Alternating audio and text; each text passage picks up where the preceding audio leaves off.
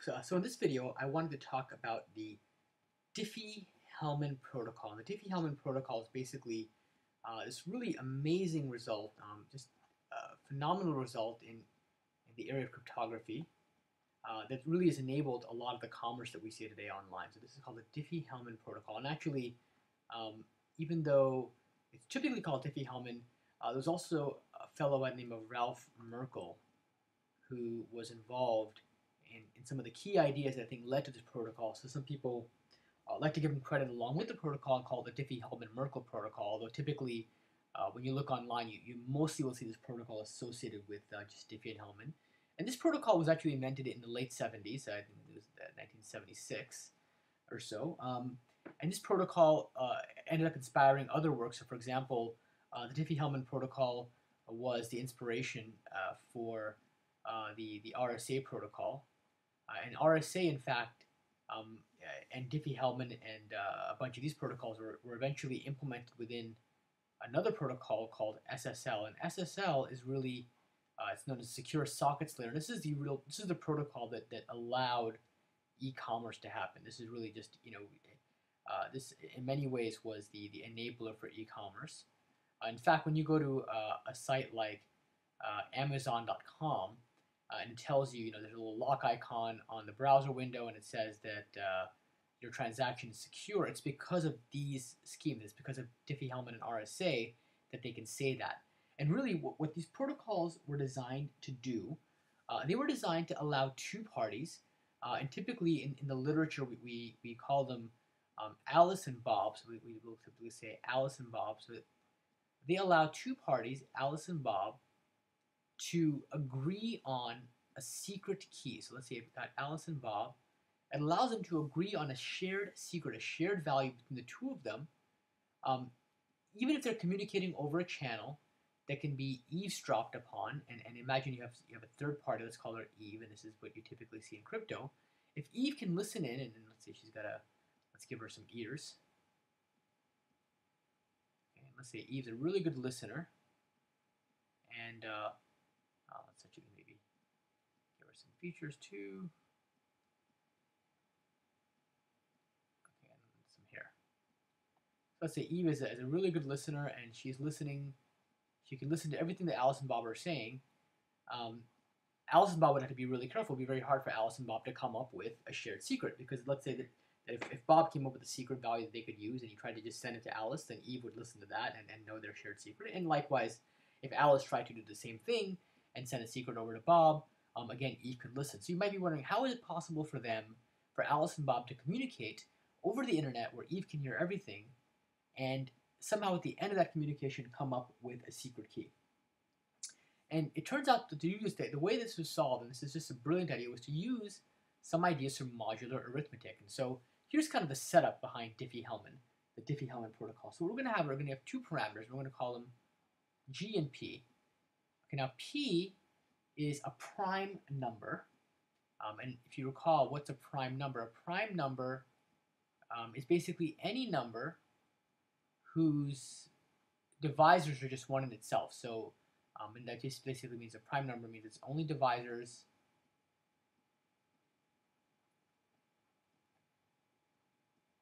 only divisors are 1 and p. Uh, so for example, the numbers 2, 3, uh, 5, 7, and so on. These are all prime numbers. Okay, 13, 11, uh, 13, etc. Um, and, and in the case of Diffie-Hellman, you actually need to, to pick a large prime number. So you'll actually need a large prime number.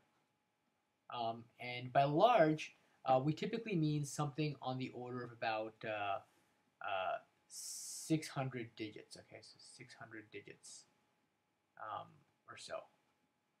And uh, the bigger the prime number in this case, the, the more secure the protocol is. I won't talk much about security in this, this first video on Diffie-Hellman, but I will uh, touch upon that subsequently. But you need a pretty large prime number, around 600 digits.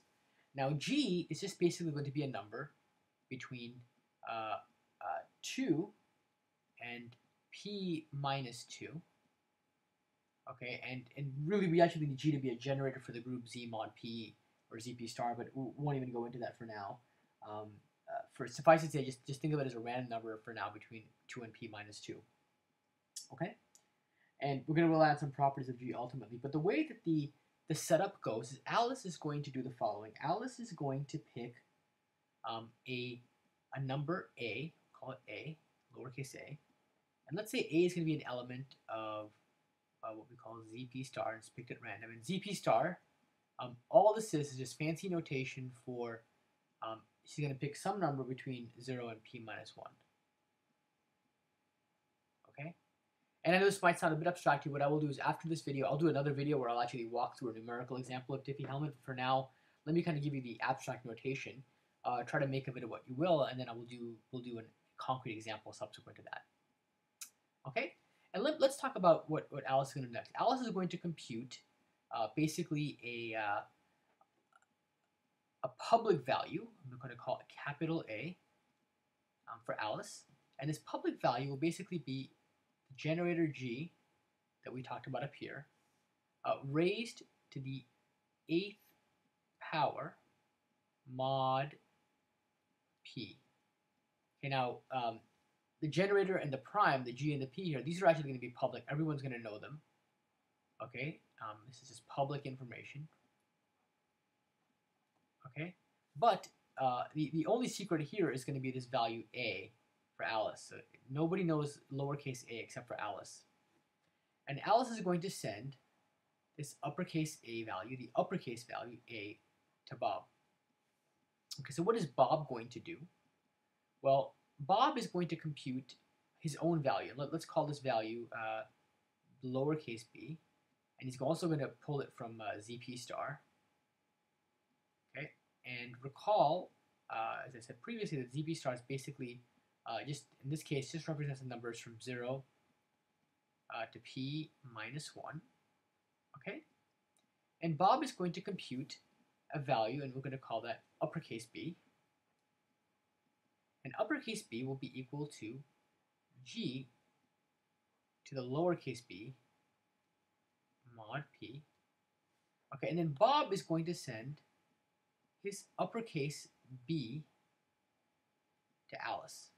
So at this point, what is Alice is going to have uppercase b, Bob is going to have uppercase a, Alice is also going to know some of the that she generated, Bob will know uh, about lowercase b as well, and I claim at this point that Alice and Bob have enough information to generate a shared value between two of them. And, and then we'll subsequently talk about why that shared value might be something that Eve would have hard, a hard time figuring out. Uh, but if you want, you might want to, um, as I explain this, you might want to kind of periodically pause to see if you can figure out the rest of the steps on your own. And I think this is a good way to learn uh, math in general. Don't just kind of sit there passively as I explain everything to you, but try to pause along the way and see if you can figure things out uh, on your own before you see how I might do them. Okay? So with that, let me explain to you how Alice will come up with her portion of the shared secret. What Alice is going to basically do is, you know, she will take her her value, uppercase, or rather, um, she's going to actually first take the, the value that Bob gave her, which is lowercase, oops,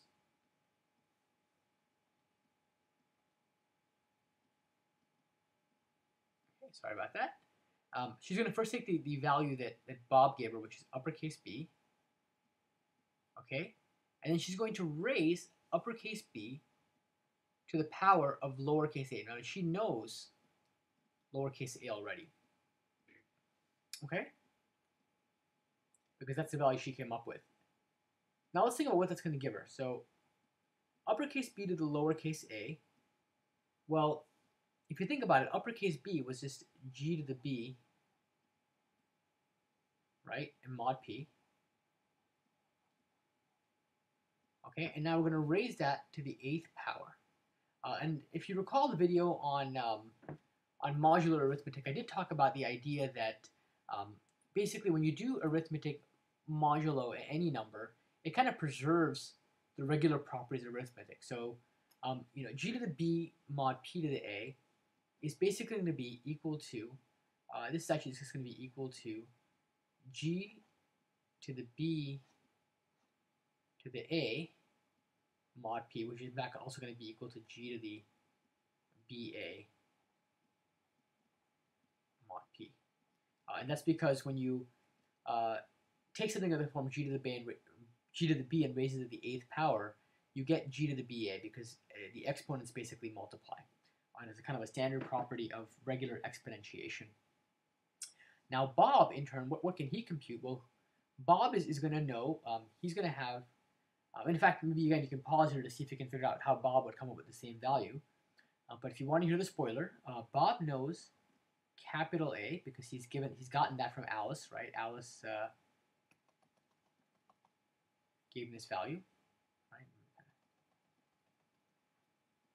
Okay, he's gonna be he's gonna raise this value to the lowercase b because he knows lowercase b since he, in fact, generated lowercase b. So what is uppercase a to the lowercase b? Well, that's going to be equal to uppercase a was uh, g to the a, right? So that was equal to g to the a. And now when you raise that to the bth power, you get uh, g to the ab. Okay, and remember we're doing all this uh, modulo p. Uh, and it's, it's obviously, uh, since multiplication is a commutative operator, um, you can change the order around and still get the same value. Um, in, in, this particular case, and there are groups in which multiplication might not be defined as commutative, but we won't consider that for now. But for now, you see that Alice has g to the BA mod p, Bob has g to the AB mod p, and so they actually have a common value. They actually know the same thing. They both have this value, which, which, which turns out to be the, the exact same thing. Okay, so now Alice and Bob have been able to compute uh, a combined value that's the same. But what does Eve know? What does Eve see now? Eve, okay, her view of the world is she's seen, all she's seen over the network, she's seen capital A and she's seen capital B. Okay, now capital A um, was just, she sees uh, G to the A and she sees G to the B. But what she hasn't seen is uh, she hasn't actually seen g to the ab, and it turns out that if you pick a big enough prime, um, and you pick a suitable value for g, and there are ways in, in which to do that, and I won't go into all those details right now, um, it's very hard from g to the a and g to the b to just figure out g to the ab.